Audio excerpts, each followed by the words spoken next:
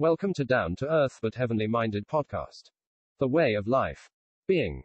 Notes of lectures delivered in Scandinavia, 1904. By J. Boyd. Revised. London, G. Morrish, 20, Paternoster Square. 1906. The Mediator, Job 32, 1 Timothy chapter 2 verses 1 to 6. The law said before man what his work was to be, grace brings before us the work of God. The law proposed blessing for man on the ground of obedience, but there was a curse pronounced upon the disobedient. Cursed is every one who continues not in all things written in the book of the law to do them.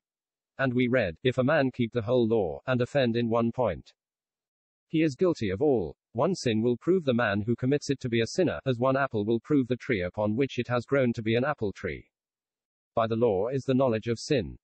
If the law went no farther than to say, Thou shalt not steal, many a man could take the place of being righteous, but it says, Thou shalt not covet, and there every man is detected. Paul says, I was alive without the law once, but when the commandment came, sin revived, and I died. He found out that the law took account of what was deeper than the outward act. It was not only that he was not to steal, he was not to lust after things that were not his. Therefore the law was a ministration of death and condemnation, sin revived, and I died. But in Christ God brings himself before us in another character. He has taken account of our need and has made provision for it. And in Christ he has approached the whole world. When he came with a law that brought no blessing to men, he came only to one nation, he addressed himself to Israel, but if he takes up the attitude of Savior, the whole world comes into view. Nicodemus has to learn that, as Moses lifted up the serpent in the wilderness, even so must the Son of Man be lifted up, that whosoever believes on him should not perish, but have eternal life. For God so loved the world, that he gave his only begotten Son, that whosoever believes in him should not perish, but have everlasting life. For God sent not his Son into the world to condemn the world, but that the world through him might be saved. It is no longer to one nation that God addresses his word, but to all men. This is declared in the gospel, repentance and remission of sins were to be preached among all nations. God has drawn near to man as a friend. Man never thought to find a friend in God. He had naturally no confidence in his Creator. He broke with God when he became a sinner, and to this day he has no desire for the healing of the breach. He wishes not to have to do with God, nor would he ever have sought God if left to himself. But God had desires after man, and if man will not seek God, God will seek him. If there is none that seeks after God, there is a God who seeks after man. He sought after Adam and Eve when they had abandoned him, and when they were doing their best to make it impossible for him to find them. They hid themselves away from him when they heard him in the garden. They could only think of him as a judge. And even today, with the gospel ringing in the ears of men, few wake up to the fact that God is seeking after them in grace. People are liable to think there can be nothing for them in the heart of God but wrath. What a mistake this is. Job thought God was against him, but he has to learn that God was the only one that was truly for him. Satan, Sabeans, the winds, and the fire of heaven, his wife and his three friends, all were against him, and set for his destruction or condemnation. And last of all, he has to learn that he was against himself. There was only one in the universe his friend, and he was the one Job only esteemed as his enemy. And all God's dealings with him were for his good. All the enemies mentioned were controlled by God. They were only allowed to go a certain length. They would have destroyed Job body and soul had they been allowed, but God sets a limit to their power, and like the lance in the hand of the skillful surgeon, it can only touch that which is destructive to life and separate between the precious and the vile. He thought he was being hardly dealt with, but it was all brought upon him in the goodness and love of God, and he is able to give thanks for it all in the end.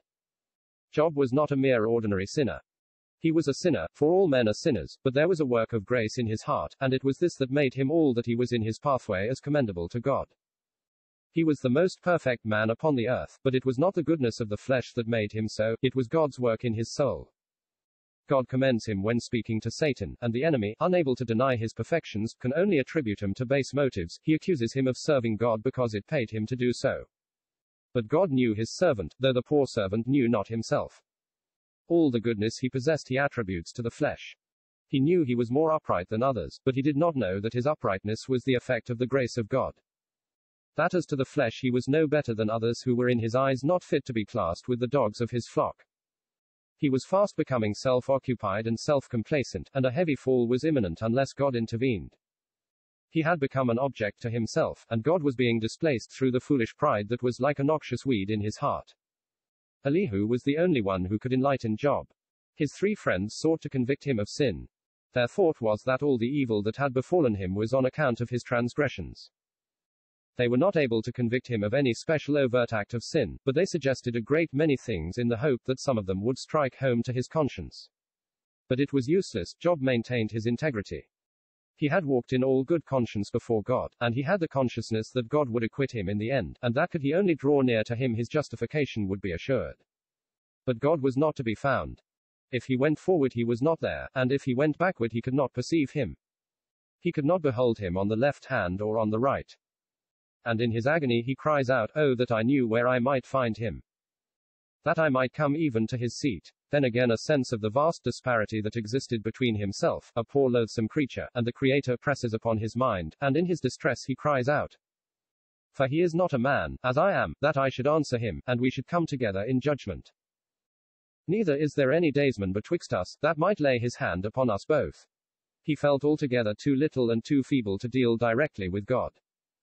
Were he only a man Job felt he could approach to him and expound his cause before him, and let him see that there was no just cause for the treatment he felt he was receiving. But the one who afflicted him was hidden from him, and his greatness was a terror to him. He reasoned from what he was to God, and so did his three friends. It was never a question in any of their minds as to what God might be in his grace and goodness. In the judgment of those three wise men, man supplied God with an incentive to love or hate, and their argument was that Job must have committed some great wickedness to fall, as he had apparently done, under the displeasure of God. And while Job knew that this was not so, for his conscience was good, he was as ignorant as they were as to God's ways with him. And his only argument was that God had acted in an absolutely arbitrary manner, without respect to the righteousness or the wickedness of the creature. This wakes up Elihu, who had not hitherto been heard. He speaks in hot anger. He is angry with the three friends because they had condemned Job without being able to enlighten him, and he is angry with Job because instead of justifying God, he had justified himself. And had made it appear that when God deals with his creature, his righteousness or unrighteousness is of no account. Thus he was advocating the cause of wicked men, and charging God with being indifferent to evil. Elihu is angry with them because of these things, and he rises up to speak on behalf of God, who had been dishonored by their speeches. He waited until all the others had said all they had to say, and then he lifts up his voice on behalf of God. He would have Job justified, but he must first of all justify God. He was the mediator who spoke in God's stead. He says to Job, I am according to thy wish in God's stead. Elihu was a type of Christ, the true mediator. Man had hard thoughts of God, Satan had falsified him in the thoughts of his creature. But Jesus came into this world to speak on God's behalf, when everyone was speaking on behalf of sinful man. And Christ waited until everyone else had spoken. Sage, philosopher, law, and prophet had all been given their opportunity before Christ came to set God forth in his true light. His mission was to save sinners, he did not come to condemn, but he would declare the righteousness and faithfulness of God whatever might happen. Man must be exposed in the utter sinfulness of his condition, but it will be by that in which the love of God to man is declared by Jesus, and above all by his death, the wicked heart of man has been exposed, but also by Jesus, and above all by his death, the love of God to man has been brought to light. Job can listen to Elihu. The words of his friends irritated him, he found neither wisdom nor comfort in them. He says, Miserable comforters are ye all. But he could listen to Elihu. There was healing balm in his words. As he listens to the mediator, God comes before his soul in his true light, like the sun from behind the dark cloud, the light and warmth of the kindness of God steal over his poor broken heart, which until now had been in the gloom of a wintry night. He lets Job know that all that had come upon him was for his good, to bring back his soul from the pit, that he might be enlightened with the light of the living. Job had lost all that flesh holds dear. His property, his family, his health, his status amongst men, all were gone, and it was all for the good of his soul. No one showed him his vileness as Elihu did, and yet the words that laid him low as a naked sinner before God were the only words to which he could have patience to hearken. And is it not so as to the words of Jesus? Man was never so exposed as a sinner as in the presence of the Son of God, and yet who was so attractive to the sinner? Publicans and sinners drew near to hear him.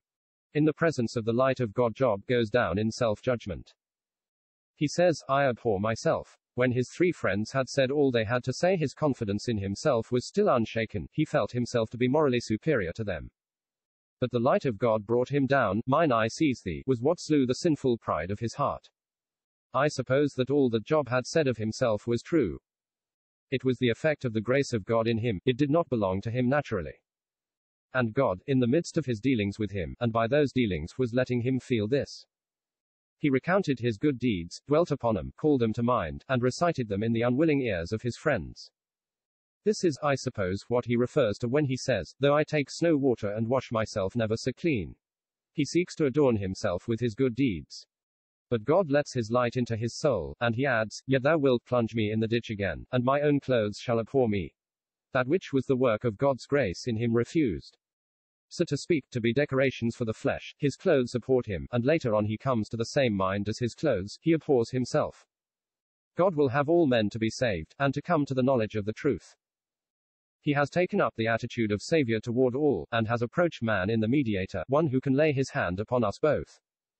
He is great enough to lay his hand upon God, for he is a divine person, and not too great to lay his hand upon me, for he is a man, the man Christ Jesus, who gave himself a ransom for all.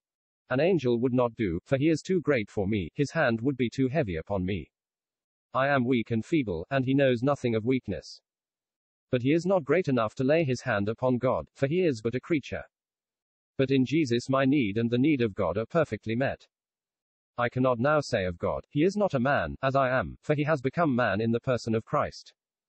And in this way God has drawn near to us that he might gain the confidence of our hearts. No one was afraid of Jesus. No one was too timid to approach him. His terror made no one afraid. Jesus was accessible to all. However vile and degraded the poor sinner might be, he had the consciousness in the presence of Jesus that he was welcome there. The words might be read in every act of the Son of God Him that comes to me I will in no wise cast out. And he gave himself a ransom for all. It is not only that the mediator has come and spoken to us, but he has died for us, died for all. Why was this? Because God would have all men to be saved. The way of salvation has been opened up for all, and the testimony of the grace of God goes out in the power of the Spirit everywhere throughout this dark world. In this world where God is not known, where every desire of the natural heart of man is wrong, and where every thought of God is dreadful, and where the day in which God must be met is looked forward to with indescribable terror, the testimony is rendered. The mediator has spoken on behalf of God, and the Holy Spirit continues the testimony in this world of sinners. Everything is against you. All the influence of this world is opposed to your soul's interests. But God has shown himself for you in Christ, in his death, and in his resurrection. He desires to deliver you from the pit, that you may live in the light of the living.